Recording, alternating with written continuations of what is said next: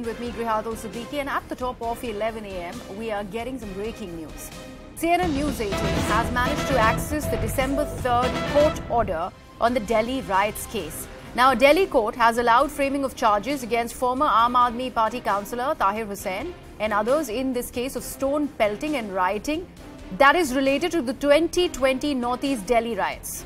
The court has mentioned in that order copy, and I'm quoting it, all accused indulged in targeting Hindus and their acts were apparently uh, prejudicial to the harmony between communities of Muslims and Hindus. They did disturb the public tranquility through their actions. This is what has been clearly mentioned in that court order. We will try and break out, uh, break down the pointers for you in just a bit. However, this is the latest that we are picking in. Remember, this is the same court that has also absolved Umar Khalid and discharged him uh, in this uh, rights incident. However, the order copy also talks about how there was a clear attempt that was made to create disharmony between communities. My colleague Ananya has more details. Ananya, over to you.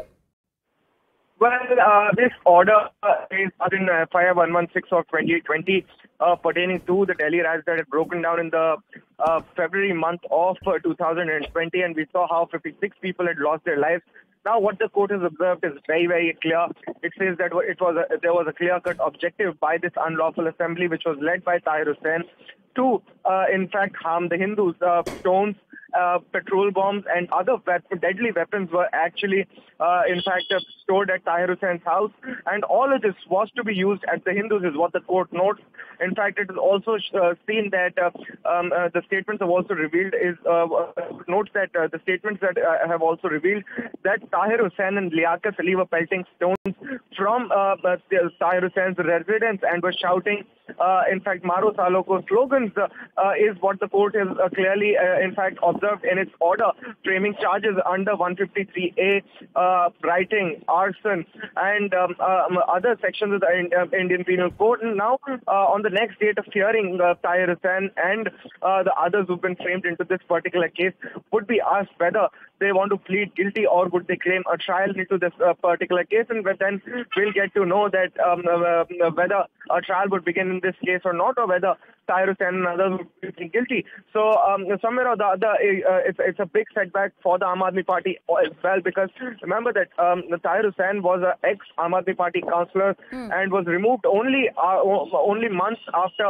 uh, in fact, when, when, these riots had taken place and his name had come out in all of the police uh, uh, investigations and uh, um, FIRs were registered against him. And now, in fact, um, clear-cut observations coming in from, from the court of law saying that it, there was a clear-cut objective to harm the Hindus.